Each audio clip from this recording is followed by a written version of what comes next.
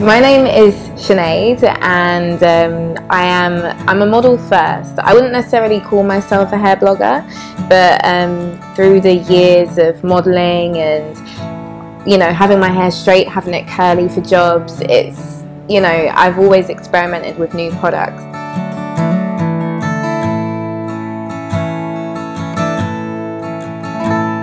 I've always felt like oh let me like you know let me post about this product and you know try and give my followers an insight as to what I do with my hair because I get a lot of messages saying what's your routine? What products do you use? And um, over the years I guess I realized my staple product has always been Mixed Chicks and I've been a customer of them theirs for years. Like from when I transitioned when I was young I didn't even know what transitioning was. I, I think I was 18 or 17 and my hairdresser just said like I'm not relaxing my hair anymore because it's gonna fall out. And I was like oh okay but like I'm paying you. Why are you not gonna do it?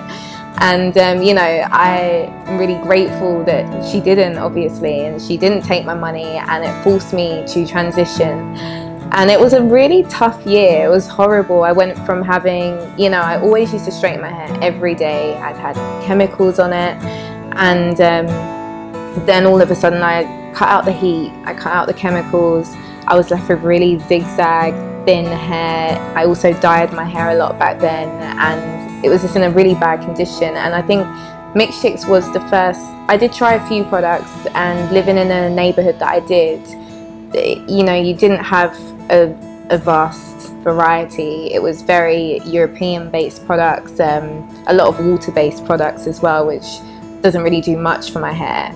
And um, if you travelled out of town to a, like a more multicultural community, it was very like Afro-Caribbean based products, very heavy oil, and that didn't really do anything for my hair either. I definitely needed a balance, and that balance I just couldn't find for years.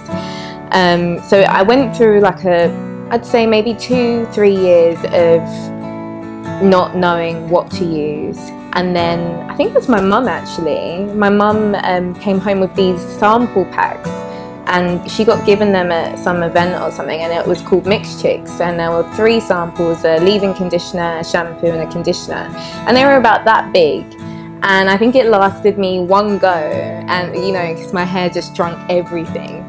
But after that one go I was like oh my god like where, where do I get these from? And I think at the time they only stocked it in America so we had it shipped in and I've never looked back since. So from a young age, I feel like I've been a genuine customer of Mixed Chicks and throughout the years, I've always used their stuff. So when they asked me to be an ambassador, I was I was over the moon because it's not it's not like they're paying me to do this. Like it's out of a genuine want to kind of give back because I know there's a lot of girls going through what I went through when I was younger.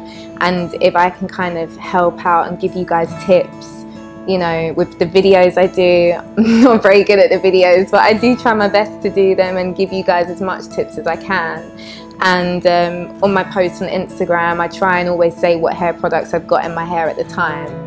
Um, but yeah that it was you know, was, it was a real privilege to be asked and I'm really honoured and I love the brand, I love everything it stands for. I love how they've included every race. It's not just mixed black and white that can use mixed chicks. It's Latinos, it's Mediterraneans, it's anyone that's just got a mixed texture of hair. It's not one or the other, it's mixed. So they cover a, a wide range and every product that they do for me works. What I'd say my favourite product is the leave-in conditioner. And this isn't one that Mixed Chicks actually gave me because I used so much of this I had to go buy the salon size one. So um, this is my go-to one. And I think I've done a video I've definitely done a video on how I use this before but basically all I do is I wash my hair um, They've got great shampoo and a washout conditioner. The washout conditioner is amazing. It leaves your hair feeling so soft and silky afterwards.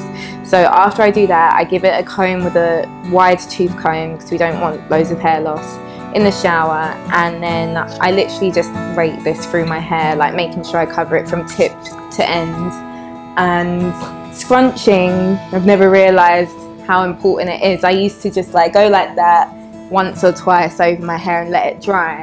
And my hair would always dry curly, but if you do it, like if you spend a good 10 minutes doing it while your hair's drying with that in, it just makes it so much more thicker. The curls are like slightly more coil-like.